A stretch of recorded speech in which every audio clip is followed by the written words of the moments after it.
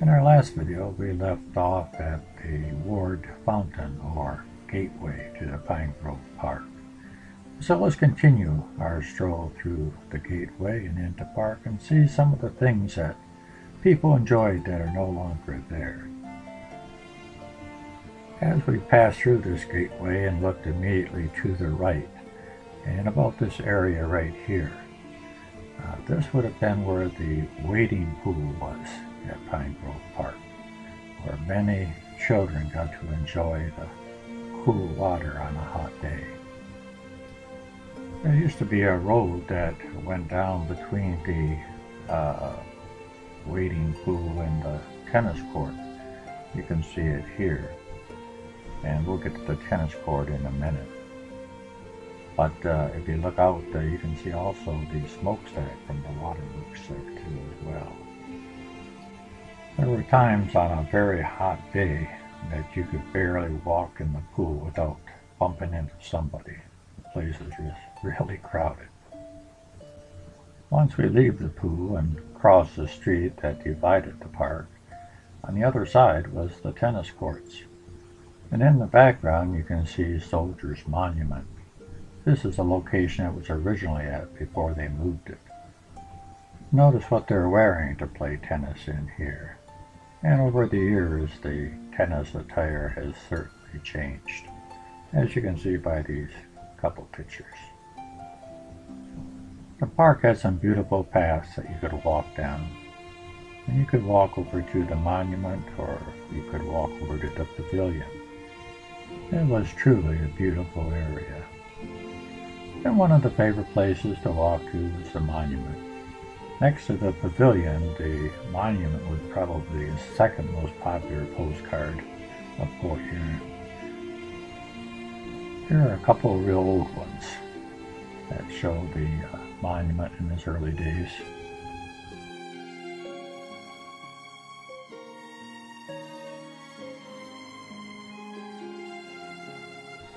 The area surrounding the monument has changed over the different generations.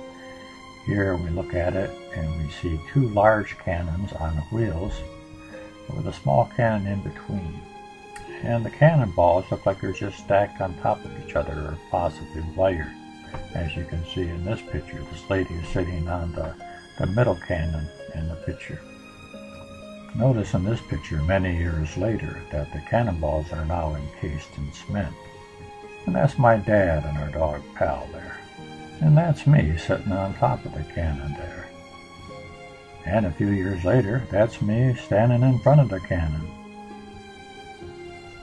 Notice the cannons no longer have wheels. They're mounted in cement. Yes, the cannons and the monument were a favorite place to get your picture taken. In this current picture, we uh, see the Soldiers Monument at its uh, new location we still see the, the two large cannons and the small one. But where are the cannonballs? I wonder whatever happened to the cannonballs. Across the street from the monument, we have the scenic outlook that's familiar to most of us, I'm sure. But this used to be the city waterworks here. And As you can see by this cornerstone here, the city waterworks was built in 1872 and the waterworks has changed over the years. The waterworks that I remember is this building right here. The main difference between this waterworks that I grew up with and pictures of uh, the waterworks taken earlier uh, in the 1800s uh, is basically the smokestack. Uh, the earlier pictures had the smokestack on the north side and now it's on the south side. And not only is it on the south side, but it's on a different smokestack and it's much taller. Any pictures you see in Port Huron, usually looking north, you can always see that smokestack in the background. This picture is looking south at the waterworks. This postcard was taken in front of the waterworks, and you can see the train tracks that went through Pine Grove Park at one time. And you can also see the roundabout path that went around that tree in front of the waterworks as well.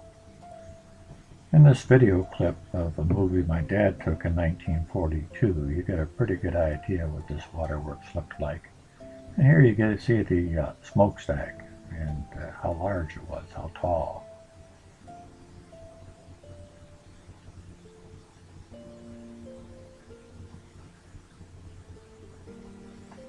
This section right here to the left, this is the uh, scenic overview right now that uh, we have at the park. And this is looking down uh, near the uh, water line. Of course, there was that steep hill that went down there, and when you drove down behind the water, like we're doing right now, it's always a little scary because you can see it's an open end there. Uh, nothing to stop you from going in the water.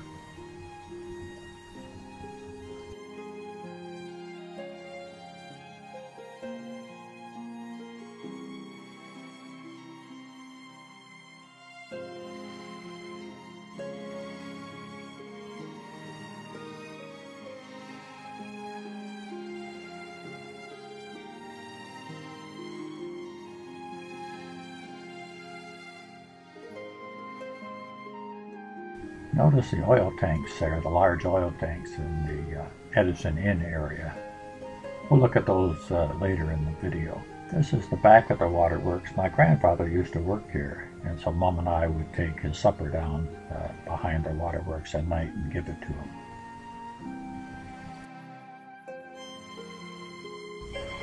The earlier postcards of the waterworks looks like this, more colorful and a nicer looking waterworks. I thought at first the artist was taking liberties with the colors, but uh, after looking at a particular black and white that you'll see in a second, it looks like there are contrasting uh, colors right here in this picture.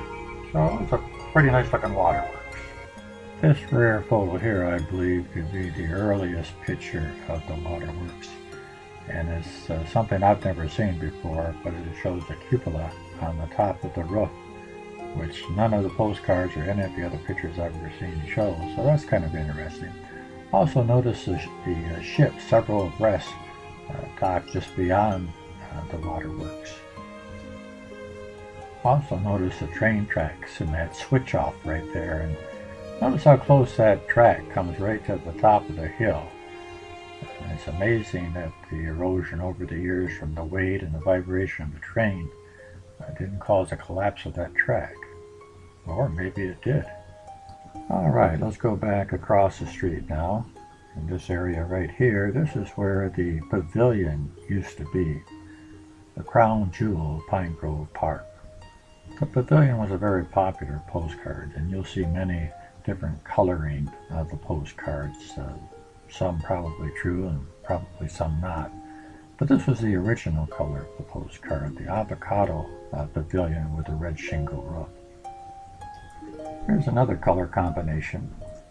And look how well the grounds are kept up in these postcards. Very nice. Here's a very bold postcard as far as coloring is concerned. And this one is a black and white picture, and then you can see in this one here they colored it in. My parents loved the pavilion. They would go down every chance they got on a Sunday afternoon and listen to the bands. And my father made a model, as you can see here, of the pavilion, and this model was later donated to the museum. This was the color of the pavilion that I remember. It was kind of a dull brown when I was growing up. The pavilion was two stories high and had restrooms and a concession stand on the ground floor. There was two large staircases that gave access to the upper floor, where the band played its concerts. And the distinctive cupola was atop the structure, which must have been about 50 feet tall.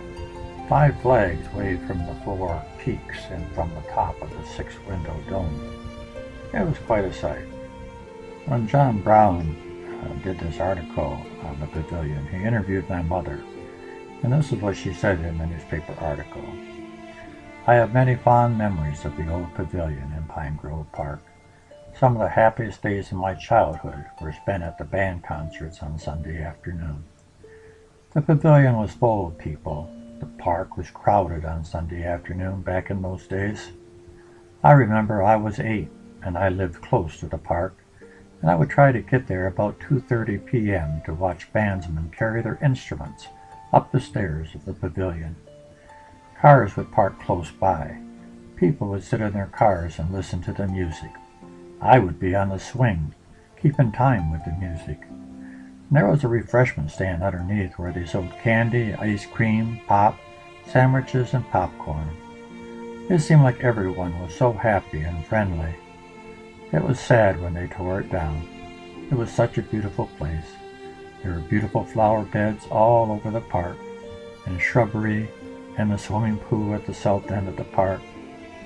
It is all just happy memories now, said Mrs. Davis.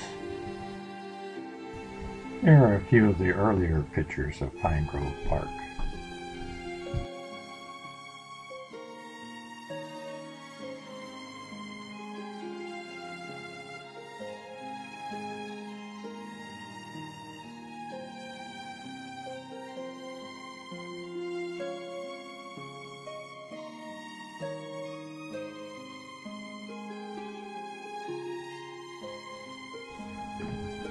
In this brochure from 1900, it would appear that camping was allowed in the park. Here we have a camping scene of a group of people. And then uh, right over here, we have some scenes as well. This is uh, inside the tent. It looks like uh, a family. And then an outside shot right there. Here we have an early picture of the pavilion. And over here is an interesting picture. It looks like it was uh, taken shortly after the uh, beginning of the park. And you can see the, uh, the roughness of the park there and this rough path going through the park. So it's an unusual picture.